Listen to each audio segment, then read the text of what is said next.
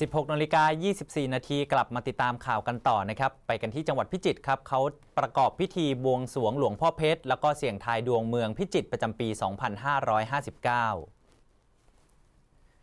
บรรยากาศที่บริเวณลานหน้าพระอุโบสถหลวงพ่อเพชรวัดท่าหลวงพระอารามหลวงอำเภอเมืองจังหวัดพิจิตรนะครับ ได้มีการบวงสวงสักการะหลวงพ่อเพชรพระพุทธรูปศักดิ์สิทธิ์ศูนย์รวมใจของชาวพิจิตร ก่อนที่จะเริ่มงานนมัสการหลวงพ่อเพชร และสมโพธิเมืองพิจิตรประจำปี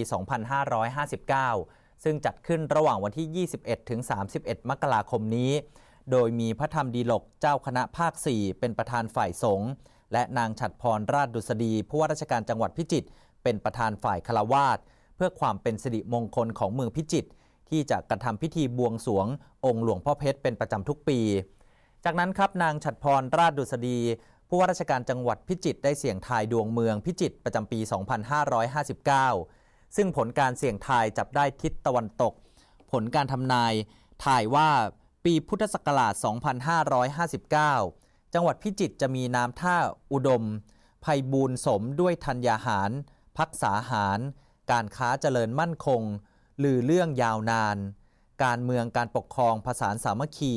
สินค้าพื้นเมืองคนนิยม ชื่อปรากฏ อบายมุกถดถอย ส่งสุขสี จะสร้างชื่อลือไกล งานประเพณี วัฒนธรรม สิ่งดี คนนิยม ชาวประชาจะตามผู้นำใฝ่ธรรมะ บ้านเมืองจะสามัคคีมีสุขสม เมืองพิจิตรจะปรากฏ ชื่อลือ คนชม ความทุกข์ตรม สิ้นมาลายกลายเป็นดี นี่คือคำเสียงไทย